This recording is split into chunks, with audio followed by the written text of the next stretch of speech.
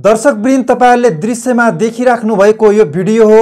धनगढी महोत्सवको। धनगढी महोत्सवमा गायिका एलिना चौहानले धोकेबाज हौ तिमी भन्ने गीत गाइरहँदा स्टेज अगाडि उक्त गीतमा यी युवती यसरी भावुक भएर यसरी डाको छोडेर रोइरहेकी छिन्।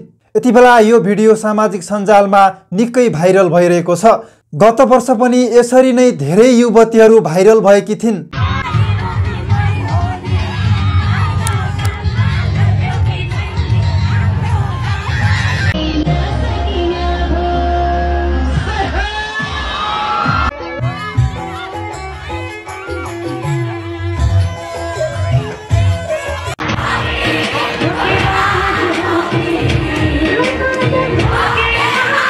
गत वर्ष पनि गायिका एलिना चौहानको धोकेबाज हौ तिमी गीत निकै चर्चामा थियो र यो वर्षको महोत्सवमा पनि गायिका एलिना चौहानले धोकेबाज हौ तिमी भन्ने गीत गाइरहँदा धनगढी महोत्सवमा यी युवती यसरी गीतमा झुमेर गीतमा भावुक भएर गीतमा अभिनय गरेर सामाजिक सञ्जालमा भाइरल भइरहेकी छिन्।